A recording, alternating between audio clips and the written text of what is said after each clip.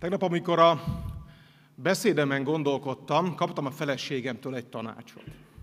Azt mondta, hogy mindenképpen beszéljek azokról az ellenzéki legendákról, hiedelmekről, amiket azért gyártanak, hogy megpróbálják megtéveszteni, félrevezetni az Orbánnal szemben állók világát. Ezt mondta tegnap a feleségem. Bizonyítani sajnos nem tudom, mert nem készítettem róla titokban hangfelvételt, de tényleg ezt mondta, higgyétek el nekem. Tudjátok, a feleségemnek minden esetre igaza van, és nem csak a sikeres házasságok hüvelykúj szabálya szerint, vagy miatt, miszerint a feleségeknek mindig igaza van, hanem mert tényleg. Mert ezek a legendák ugyanúgy mérgeznek, mint a kormánypropaganda, akkor is, ha ezeket nem a megafon terjeszti. Sokan akarják elhitetni mindezt velünk kiugrott fideszesektől a kanapé elemzőkig. Na nézzük néhány ilyet, mert érdekesek. A legfrissebb legendával kezdeném, mert ez most nagyon divatos, a rogánozás legendája. A gyanútlan szemlélőnek ugyanis manapság úgy tűnhet, mintha Rogán Antal lenne a felelős ezért a rendszerért. Ő lenne a NER gazdája. Orbán Viktor nevét szinte nem is hallani. Úgy tűnik, mintha Rogán leváltása lenne a cél. Róla beszélnek, ugye ő fog majd elmenekülni az országból egy magángéppel. Ennek a legendának egyetlen egy célja van. Orbán mentegetése. Miközben ember nincs ebben az országban, aki, ha belegondol, ne tudná, hogy a NER létrehozója és kizárólagos gazdája Orbán Viktor. Mégis, ha sokat rogánozol, sziátozol, lázározol, van még néhány ilyen, azzal elfeded Orbánt, mint régen a királyok idejében, akik mindig jók, csak gonosz és tehetségtelen tanácsadókkal vannak körülvéve. Hát nem. Aki csak a rogánakat akarja leváltani, az valójában nem akarja leváltani Orbánt. Az nem kidobni akarja a nert, hanem foltozgatni akarja, mi pedig nem ilyenek vagyunk. Mi Orbán Viktort és egész rendszerét akarjuk leváltani, és soha, soha nem érjük bennél kevesebbel.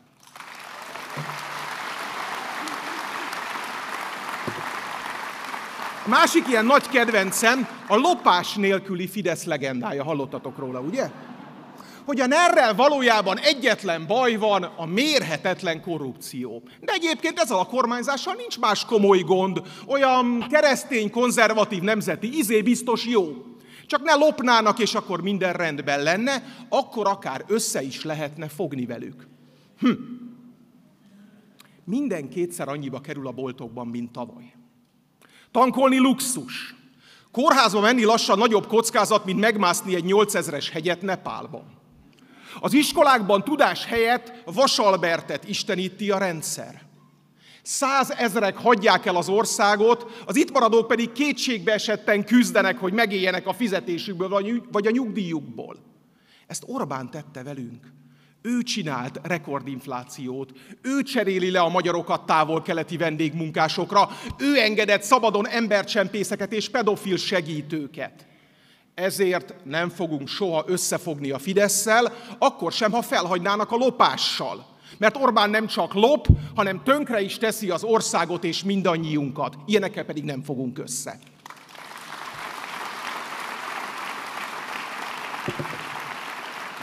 Aztán itt van még újabb kedvencem, az Orbán nélküli Fidesz legendája hogy a Fidesz alapvetően tele van jó akaratú politikusokkal, és ha Orbán eltűnne, akkor velük akár együtt is lehetne működni. De azon túl, hogy nem igazán hiszem, hogy létezik NER Orbán nélkül, tényleg elfogadható lenne onnan valaki más? Ha sikeres pucsot hajt végre Lázár vagy Szijjártó, az majd oké okay lesz nekünk? Elhisszük az emberarcú fideszes politikus legendáját? Hát nem. Egy kutya mind. A NER-nek mennie kell minden elemével, minden vezetőjével, minden oligarchájával és minden kollaboránsával együtt. Ez a mi politikánk, és nem engedünk belőle senki kedvéért.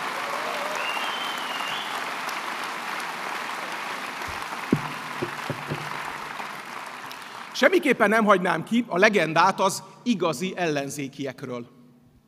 Évek óta épül ez, hogy a jó ellenzéki az, aki az elmúlt 14 évben legalább egyszer a Fideszre szavazott.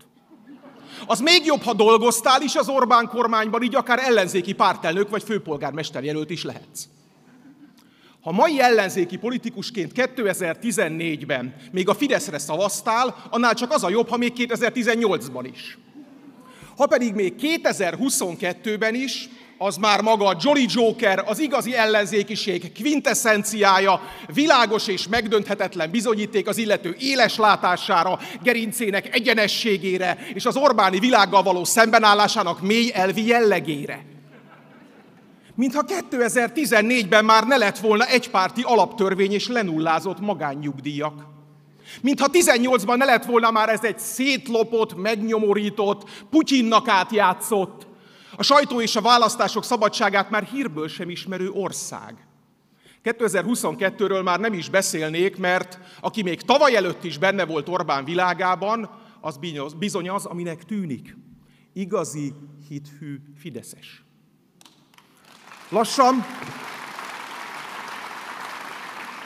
lassan ott tartunk, hogy aki az elmúlt 14 évben egyszer sem szavazott a Fideszre, magyarok milliói, már nem is igazi ellenzéki. Akiért nem kell dolgozni, mert úgyis megvan. Ő már csak olyan másodrangú ellenzéki. Aki nem kiábrándult Fideszes, mert soha életében nem volt beábrándulva se a Fideszbe, az már nem is érdekes. Na mi ezt nem hagyjuk. Mert nálunk nem másodrangúak, hanem tiszteletre és csodálatra méltó ellenzékiek ők. Ők ti vagytok, a mi világunk, a mi erőnk, a mi kitartásunk, a mi elszántságunk forrása. Azok a milliók, akik 14 év alatt egyszer sem alkuttak meg a rendszerrel. Mi nem kajtatunk,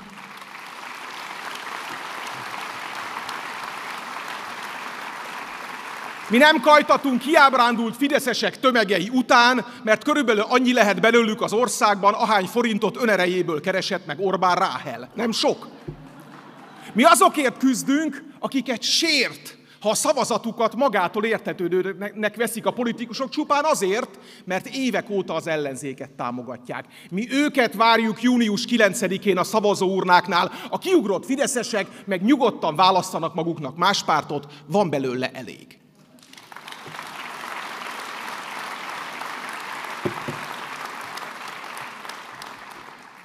Tudjátok-e, hogy kik a pentítók? A pentítók a maffiából kiugrott, vádalkut kötő, a hatóságokkal együttműködő egykori maffia tagok az olasz maffia szótárban. Ma a pentító romantika korát éljük. Ellenségből barát, barátból ellenség, ármány cselszövés, intrika, viharos fordulatok, mint a filmeken. De nem lennénk mi magyarok, ha nem tudnánk ebben is újat alkotni. Egy normálisan működő országban ugyanis a pentítók jutalma a büntetlenség. Nem több. Felfedik a maffiát, lebuktatják a társaikat, cserébe elkerülik a börtönt.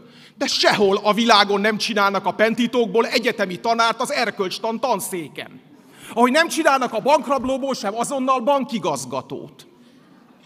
Ez egy igazi magyar dolog, csodálom, hogy nem tanulmányozza még a Hungarikum Bizottság. Van mert még egy hungarikum ebben.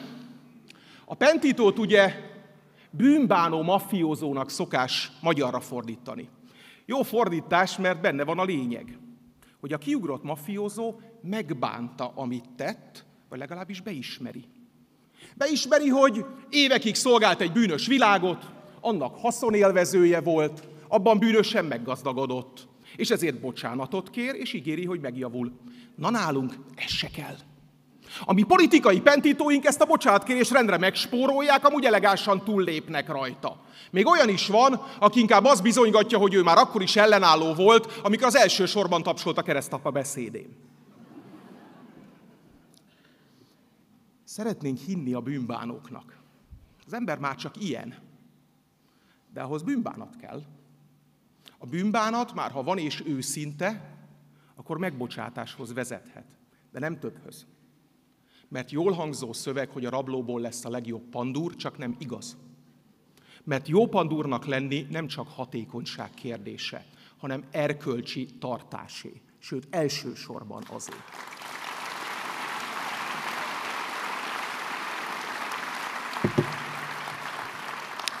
Hagyjuk ezt a pentító párhuzamot befejezem, úgyis tudjátok, hogy kiről beszéltem.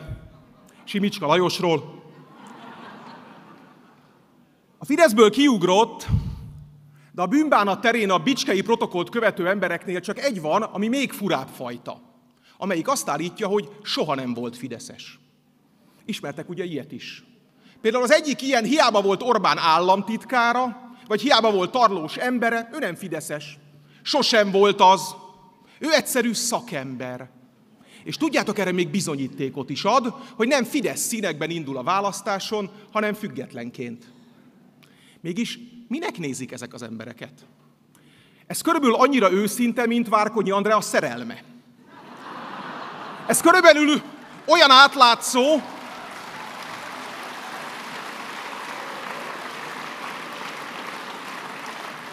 Ez körülbelül olyan átlátszó, mint az uniós pénzekből telepített Fideszes lomkorona sétvány falevelei naplementekor. Egyedülálló választás előtt állunk. Magyar önkormányzatok és egész Európa sorsát befolyásolhatjuk a szavazatunkkal, aztán, hogyha ez jól sikerül, akkor az országnak is új irányt szabhatunk. Van erre most esély. A kormánypárt a kegyelmi botrány miatt nem csak egy Novák Katalinnal és egy Varga Judittal lett szegényebb, hanem 4-500 ezer szavazóval is. A pedofil János bácsi és hűtársa Endre bácsi magyarok százezreit késztette elgondolkodásra. Ma a megélhetési válságot erkölcsi válság mélyíti. Ezért dolgunk van, és nem kevés. De hogyan is? Legendákról beszéltem nektek. Megtévesztő legendákról, amelyek különösen pusztítóak, mert nem a propagandagépezetből jönnek. Akár hitelesek is lehetnének, hiszen nem a Fidesz mondja. De mi nem hagyjuk magunkat átejteni. Mi leszámolunk a legendákkal. Mi nem fogunk össze a lopás nélküli Fidesszel, mert egyrészt olyan nincs, másrészt pedig, ha lenne, akkor is van velük baj egyébként is. Mi nem fogunk össze az Orbán nélküli Fidesszel, mert egyrészt olyan nincs, másrészt, ha mégis lenne, mégis, akkor mitől lenne jobb bármelyik másik nerlovag? És ami manapság talán a legfontosabb, mi nem fogunk össze olyanokkal sem, akik összefognának a Fidesszel. Mert nem megjavítani akarjuk ezt a rendszert, hanem kidobni mindenestül.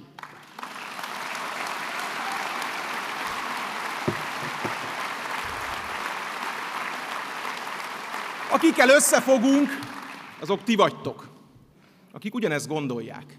Tisztességes, nem megalkuvó ellenzékiek milliói. Az igazi ellenzékiek. Akik nem divatból szavaznak, akik átlátnak a szitán, akik büszkék arra, hogy nem ma kezdték meg a küzdelmet Orbán rendszere ellen. Ők a Dobrev Klára vezette közös szociáldemokrata zöld lista hívei. Várunk benneteket június 9-én.